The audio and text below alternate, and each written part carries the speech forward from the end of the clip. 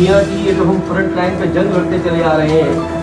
یہ پوری دنیا کے چیمپئنوں کے لیے ایک سبق ہے کہ جس طریقے سے پاکستانی قوم نے، پاکستانی بچوں نے اور پاکستان کی ماں اور بہنوں نے ان قربانیوں میں بڑھ چڑھ کے حصہ لیا ہے اور دہشت گردی کا خاتمہ کیا ہے۔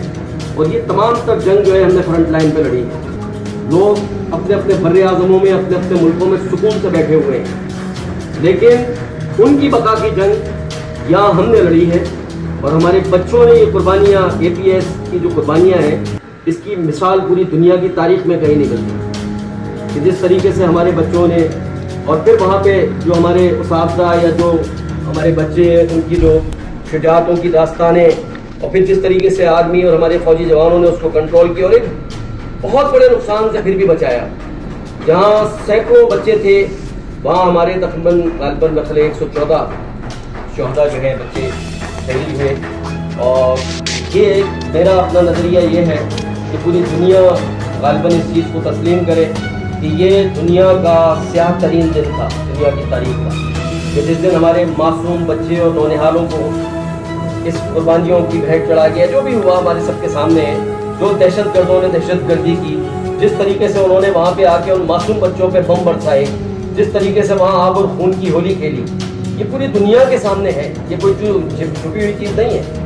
ان تمام داستانوں کے بعد، ان تمام قربانیوں کے بعد، ہمارے اس ملک کو، ہمارے اس دھرتی کو اور ہمارے یہاں بسنے والوں کو آج بھی پوری دنیا میں کس نگاہ سے دیکھا جاتا ہے، یہ ان سب کے لیے، یہ جتنی بھی دنیا کی طاقتیں ہیں، شرم کا مقام ہے۔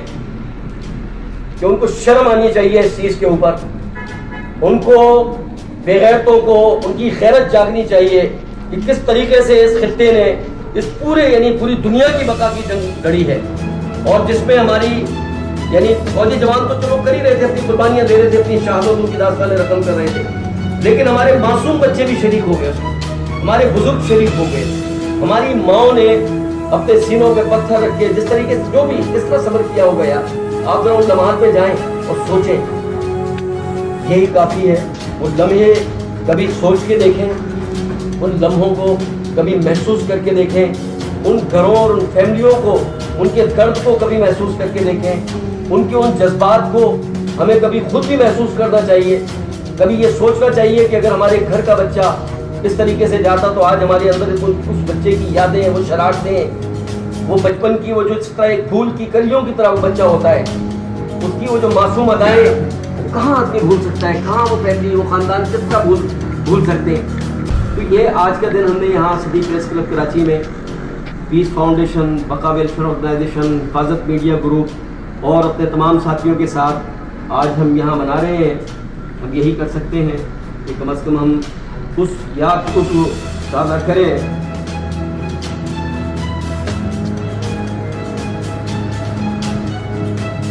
زون کرتے اس ملک کو۔ ہمارے اس ملک کو ٹیکس فری زون قرار دیا جاتا جتنی قربانیاں دیے، جتنی ہم لوگ پھیٹ چڑھے، جتنی ہماری بارڈرز کے اندر اور بارڈرز کے اوپر جو ہماری قربانیوں کی داستان ہے، پوری دنیا اس کا ایک جھلک، ایک مثال پیش نہیں کر سکتی۔ یعنی پوری دنیا کی دہشت گردی یہاں ہم لڑتے رہے یار۔ ان دہشت گردوں کو ہم منہ دیتے رہے ان کے خلاف ہم لڑ کے ان کو چین اور امن اور سکون کی نیند سلاتے رہے لیکن آج بھی بدنام ہمیں ان بےغیرتوں کو خیرت آنی چاہیے اور شرم آنی چاہیے ان ان کے لیے ڈوم بندے کا اور شرم کا مقام ہے یہ۔ ان طاقتوں کے لیے، ان نام نہاد طاقتوں کے لیے۔ اور یہ میرا میسج ہے، اپنے کی خیرت جاگنی چاہیے کہ کس طریقے سے اس خطے نے اس پورے یعنی پوری دنیا کی بقا کی جنگ لڑی ہے۔ اور جس میں ہماری یعنی فوجی جوان تو چلو کر ہی رہے تھے، اپنی قربانیاں دے رہے تھے، اپنی شہادتوں کی داستانیں رقم کر رہے تھے۔ لیکن ہمارے معصوم بچے بھی شریک ہو گئے۔ ہمارے بزرگ شریک ہو گئے۔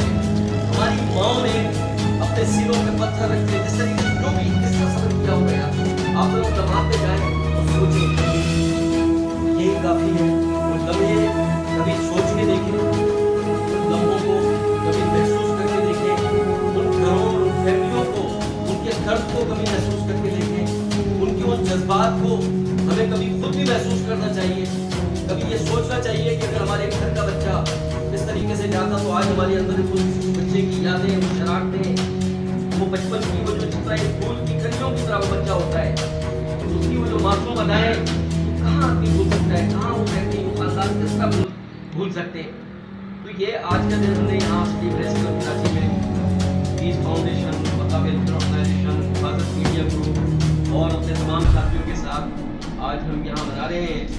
ہم یہی کر سکتے ہیں کہ کم از کم ہم اس یاد کو تو تازہ کریں۔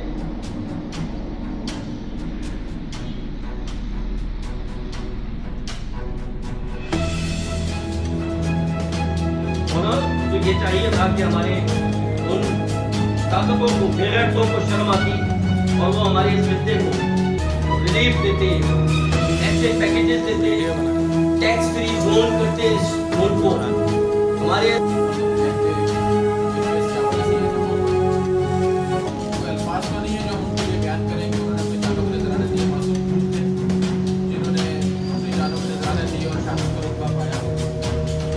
والی بھیڑوں کے لیے تماشا ہے جو ہمارے بچے بھی شادی سے رہتے گزر نہیں کرتے اور پاکستان ایک واحد ملک ہے جس نے فرائی جنگ اپنے ملک میں لڑی ہے۔ دنیا کے امن کی خاطر اپنی جانیں، اپنے جوانوں کی جانیں، اپنے افراد کی جانیں۔ دنیا میں کہیں بھی آپ تاریخ اٹھا کے دیکھ لیں، کسی بھی ملک کی تاریخ اٹھا کے دیکھ لیں، فوجی افسر جو ہوتا ہے وہ آگے کبھی نہیں جاتا، کبھی اس کی علاقت کی خبر نہیں آتی۔ ہمارے جرنیل جیسے آپ نے بتایا جرنیل بھی شہید ہوئے ہیں، ہمارے اعلیٰ افسران جو کہ جن کو آرڈر ہوتا ہے کہ آپ پیچھے رہ کے لڑائی لڑیں، وہ آگے فرنٹ پہ جا کے لڑیں اور شہید بہت بڑی مثال ہے۔ اور ہمارے اے پی ایس کے جو ہمارے مہمان تھے، ہمارا جو فیوچر تھا، وہ ان لوگوں نے صرف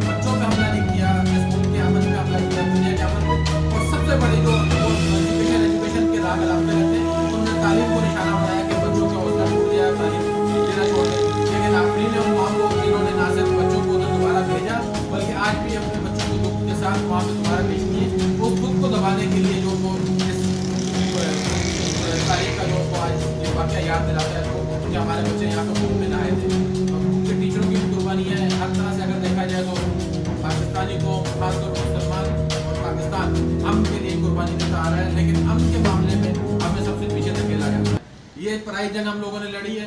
آج ہم گرین پاسپورٹ لے کر جاتے ہیں تو ہماری تلاشیاں شروع ہوتی ہیں یہاں پہ دہشت گرد پایا جاتا ہے۔ اس وقت یہ عالمی طاقتیں کہاں سے پاکستان کے اوپر اٹیک ہو رہے ہیں، پاکستان کے اوپر حملے ہو رہے ہیں۔ سب ہسٹری اٹھا کے دیکھو۔ ہزاروں تعداد میں ہمارے سویلین بچے اور ہزاروں کی تعداد میں ہمارے جوان جو شہادت کا رتبہ پا چکے ہیں، صرف امن کی خاطر کیوں؟ اسلام ایک امن کا درس دیتا ہے اور امن کا گہوارہ بنانا چاہتا ہے اسلام۔ لیکن کچھ لوگ ہم دشمن ہیں، اسلام دشمن ہے، تعلیم دشمن ہے، وہ نہیں چاہتے کہ پاکستان اس قسم پہ عمل بنائے۔ اور کسی معاملے میں وہ پاکستان کا حملہ کرتے رہتے ہیں۔ اور ان شاء اللہ آج ہم جب زبانوں کے بولیں گے کہ وہ اپنے سازشوں میں ناکام رہے گا اور ہمیشہ ناکام رہے گا۔